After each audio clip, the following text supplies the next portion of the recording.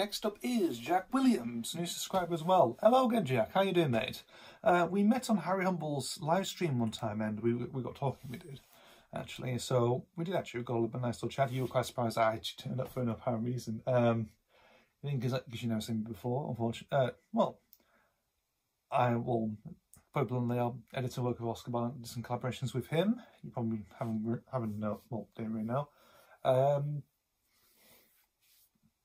I think I mentioned last time I did some collaborations with with him as well, and you were quite surprised actually. So, but it's nice to see you, mate. Thanks, thanks for subscribing. And you sent me five questions. How lovely, mate. Cheers, mate. So, first question is, what is your favourite series of Bob Builder? Has to be the very first season, mate, because I always, it's, well, first season, it's the only season I can really think of, really, because I, I remember watching it back in the day, when it first came out, I was only one when Bob the Builder came out, and it's like late 90s that was, 98. And when it came out, I do have some VHSs somewhere, wherever they are. I haven't seen them for years, really, but you know, like, blimey. Yeah, so I need to find them out. I find them eventually. You know, if I'm looking up here, they're all up in this attic here, along with lots of other stuff, lots and tons of stuff up there. So, believe me, it's a gold mine up there. A strange gold mine, but I need to find them eventually. So, the very first season from last night, the very, you know, with Neil Morrissey, if else, if, you know, for that sort of thing, that's my favourite. Uh, number two, who are your favourite characters from Monsters Inc? Has to be Mike and Sully, John Goodman, Billy Crystal and the receptionist as well. I forgot the name. The slug, oh, the old slug, uh, slug lady. I forgot. I don't know the name of her. She's great. I love. I do like her. I'm not keen on Boo. I mean, Randall's just uh, not the best really. I just don't. Really, I don't know. I'm not really keen on that. Um, I don't know. I mean, I don't know. There's a little. I think for you know, character like her. I don't really know. Really. I think because I don't really know. I, I, never, I never really saw related to that character very much, but Mike and Sully and some reception lady, I forgot her name. You might have to comment down below very much on on that character if you can, Jack. Cheers, mate. Um, so that's your question answered. Uh, number three, which cast film have you seen the most? Cars 1, Cars 2 or Cars 3? That's for the first one, mate. Cars 1, because I remember seeing them on a piracy on a piracy DVD years ago. I never saw it in cinemas. I saw on a piracy DVD back in the day. So that was my thing. What we were doing, getting some cheap knockoff DVDs. I think it was like three for ten pound. It was back in the day on a market stall. my God, they don't they don't do it anymore, don't they? They haven't. That's that's year, that's years ago. That was that's years. My God, wow. Now, you, now you just stream it. You can. You know, back in the back in the used to get like a DVD, like, being like a little in a, in a paper packet with the poster print on it. It depends on the quality really, and some of them, some of them actually are stellar. Some of them are a bit, yeah, recorded by camera on on the screen a bit much. It's like, hmm. But I to remember getting back in the day cars. The cars I remember actually had a very good quality to it actually, so pretty good. Uh, so Carl, the very first one I saw the most because again, on the DVD, it'd been on TV a few times as well, so I'll probably see most of a few bits and pieces of that.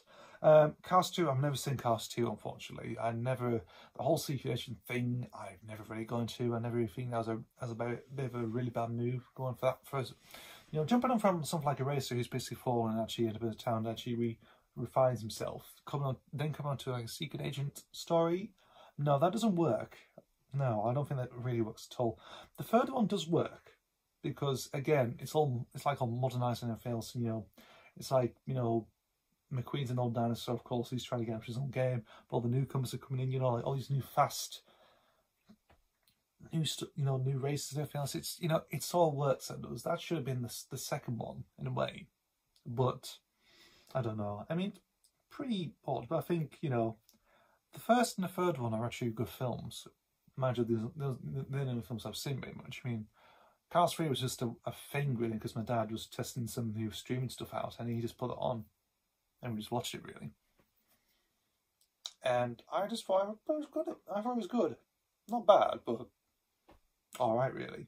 So, to answer that question, Cars 1 is the, is the film the film I've seen the most, unfortunately. I've never seen Cars 2, I'd rather not go, not go near what watch that, really, unfortunately. And Cars 3, I've only seen it once, thought it was okay. Number four, have you ever have you ever seen Lavender Castle done by Gerry Anderson? No. I never seen Gerry Anderson. I did so. I did some. I did read about it on a website called Toonhound, which I have saved on my phone here as a little bookmark, as a favourite. So I use. I sometimes use Toonhound for some inspiration, very much for like what can I find? What kind of stuff can I find in the depths of um, you know, of 20th century? And I find and Toonhound has actually got a weird. It's like a, it's like a weird little pocket thing, like a little like a little um like like a guide to all sorts of weird stuff going there. It's like, oh, that sort of thing. It's like I do remember seeing a picture of Lambeth Castle, of course. I think it was the main captain, cool, what do you call him, captain something. I don't know the name because I never really seen the thing. I never watched Lavender Castle, sorry mate, but um, Gerry Anderson. I've seen a show recently done by Anderson called Dick Spanner PI. Uh, they only did two stories that had Shane Rimmer as the voice. I'll probably talk about that more a bit, a little bit more actually later, maybe in the future. Nah. Um, but I never seen Lavender Castle, unfortunately. But I did, I did read about him, Toonhound. That's where I knew about it from. So, but I might do eventually. I mean, it might be a good season. You might probably recommend. You might recommend me to recommend a, a, a decent show, actually. But thank you anyway. That done by Cosgrove? That's done by Cosgrove Hall as well, hasn't it? Isn't it? You know, all partly done by Cosgrove Hall. Maybe. Might have been, actually. Who knows? Speaking of which, speaking of Cosgrove Hall, number five, what is your favourite Cosgrove Hall film series? I'll give you five. I'll give you five favourite shows by off Cosgrove Hall. First things first, of course, The Wind in the Willows, instant classic. Um, you know, the five seasons, include you know Mr. Oberstode included, and the two feature films, you know, the interview film and Tale of Two Toads. Brilliant that is. I mean, that is fantastic. A wonderful series. It is lovely animated. Story wise, it's wonderful. A bit from the from the fifth series, you can see they running out of ideas and way. I mean, the writing on the wall with that series, but there's a lot. There's a reason behind it. Of course, with that, I mean, there was no projects coming through from that time. This is basically between you know, they were doing creepy crawly. They, they were still doing creepy. They finished creepy crawlies, and they were still doing. The fish went to the Willis from from like eighty seven. They did creepy crawlies just you know came in. Tale Two Toads came in, matching afterwards actually. So there are no projects really coming through very much. So they had the the fifth series, which was almost Toad, and Tale Two Toads as well. I think Tale of Two Toads was filmed after was actually filmed after the, fifth series, but it was broadcast earlier on. So interesting production. So Tale of Toes is actually the, very, the last thing to do with Wind the Willows. It was so, but it was filmed at the it was filmed at the series and then got you know you know a big music actually. So with that production thing, um, yeah. So yeah, but it's a really fantastic series. I mean, if you look for the whole thing, if you have the complete collection, you you basically get on a, a lovely odyssey going through. You start from the editing film, then you go for the first four seasons. You do then you come to A Tale of Two Toads, then you come to Almost a Total Series 5.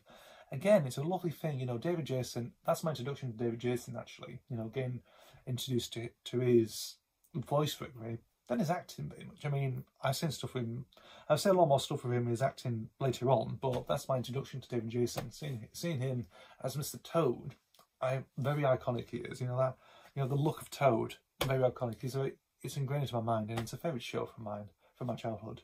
Um, I've only got one VHS of it, and that's how my introduction really came from. Well, a VHS and an excerpt on a Chun's compilation as well. That's my sort of VHS content with Willows in my collection. So that's all. That's all I've got really. Uh, but it's a lovely show. I love it. I do the music wise, lovely animation, lovely direction, of course. Chris Taylor, Jackie Cockle, Francis Vose, Barry Purves. You know, there's love talented. There's a lot of people, Brian Little as well. Brian Little as well.